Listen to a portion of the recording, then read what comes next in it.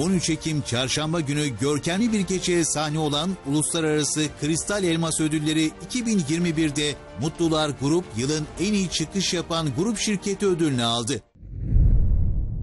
Çok yorulduk anneciğim. İşte öyle kemerimizi bağlamamız lazım.